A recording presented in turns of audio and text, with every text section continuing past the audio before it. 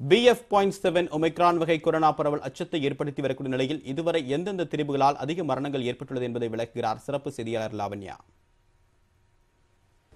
இரண்டாயிரத்து பத்தொன்பது இரண்டாயிரத்து இருபது இந்த இரண்டு ஆண்டுகளுமே உலகம் முழுவதும் கொரோனா வைரஸ் பரவலால ஊரடங்கு அமல்படுத்தப்பட்டிருந்தது. அப்புறமா மெல்ல மெல்ல கொரோனா வைரஸ் பரவல் குறைய ஆரம்பிச்சதுனால மக்கள் இயல்பு வாழ்க்கைக்கு திரும்ப ஆரம்பிச்சாங்க. இப்போ ரெண்டு வருஷத்துக்கு அப்புறமா மறுபடியும் சீனாவில பி எஃப் செவன் அப்படிங்கிற கொரோனா வேரியன்ட் பரவ தொடங்கி இருக்கிறதுனால உலக சுகாதார அமைப்பு ஒரு எச்சரிக்கையை விடுத்திருக்கிறாங்க. என்ன அப்படின்னு பார்த்தோம்னா அடுத்த மூன்று மாதங்கள்ல அதாவது மார்ச் ஏப்ரல் மாத காலகட்டங்கள்ல உலகத்தில் இருக்கக்கூடிய மக்கள் தொகையில பத்து சதவீதம் பேர் இந்த பி எஃப் செவன் கொரோனா வேரியண்டால பாதிக்கப்படுவாங்க அப்படின்னும் பத்து லட்சம் உயிரிழப்புகள் நேரிடக்கூடும் அப்படின்னும் எச்சரிக்கையை விடுத்திருக்கிறாங்க.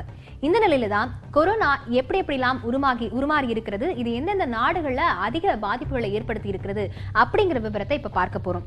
முதலாவதா யுனைடெட் ஸ்டேட்ஸ் ஆஃப் அமெரிக்கா இந்த நாட்டுல பார்த்தோம்னா alpha virus delta virus omicron virus மட்டும் இல்லாம பிஏ ஃபைவ் வகை கொரோனா வைரஸும் பரவுனதுனால இங்க மொத்த பாதிப்பு அப்படிங்கிறது பத்து கோடியே இருபது லட்சத்து நாற்பத்தெட்டாயிரத்து நானூத்தி எழுபத்தி இரண்டா பதிவாகி இருந்தது உயிரிழப்பு அப்படின்னு பார்த்தோம்னா பதினோரு லட்சத்து பதினான்காயிரத்து தொள்ளாயிரத்து முப்பத்தி ஒன்னா பதிவாகி இருந்தது அடுத்ததா பார்த்தோம்னா இந்தியாவுல.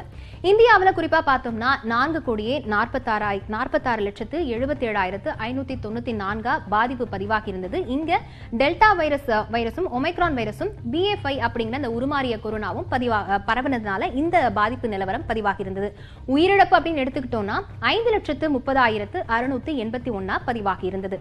அடுத்தபடியா பார்த்தோம்னா பிரான்ஸ் பிரான்ஸ் நாட்டை பொறுத்தவரையிலும் ஒமைக்ரான் வேரியன்ட் தான் அதிகமா பரவியது. இங்க பரவினதுனால மூன்று கோடியே தொண்ணூறு லட்சத்து இருபத்தைந்தாயிரத்து எழுநூற்று முப்பது பேர் பாதிக்கப்பட்டிருந்தாங்க.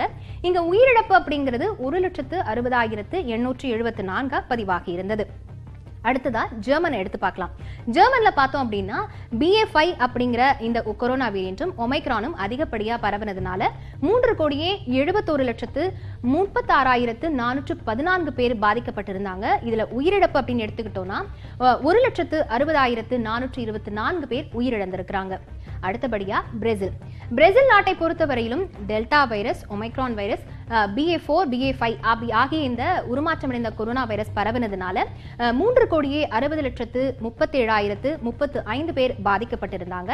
உயிரிழப்பு அப்படிங்கிறது ஆறு லட்சத்து தொண்ணூற்றி இரண்டாயிரத்து நானூற்றி ஏழு பேர் உயிரிழந்திருக்கிறாங்க. இந்த நிலையில தான் உலகம் முழுக்கவுமே குறிப்பா இந்தியாவில மத்திய மாநில அரசுகள் இந்த பி எஃப் செவன் வேரியண்ட்டை எப்படி கட்டுப்படுத்தணும் அப்படிங்கிற முன்னெச்சரிக்கை நடவடிக்கைகளில் ஈடுபட்டிருக்கிறாங்க.